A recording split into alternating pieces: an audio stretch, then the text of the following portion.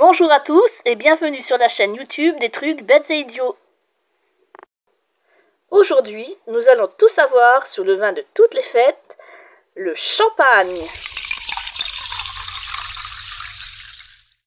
C'est le moine Dom Pérignon qui l'a créé en 1668 à Auvillers, près d'Épernay, dans le département de la Marne.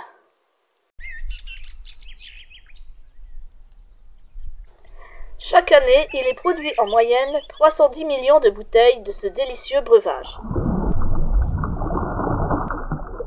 À part la France, les plus gros consommateurs de champagne sont les États-Unis, suivis de très près du Royaume-Uni. En troisième place, plus surprenant, nous trouvons le Japon. Un magnum de champagne du château Avenue Foch a été vendu aux enchères en 2017 pour la modique somme de 2,5 millions d'euros.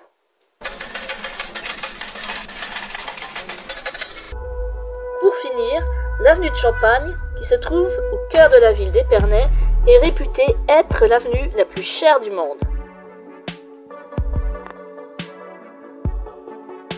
Sous cette avenue se trouvent des kilomètres de caves et donc des millions de bouteilles. Bien sûr, pour votre santé, le champagne est à consommer avec modération.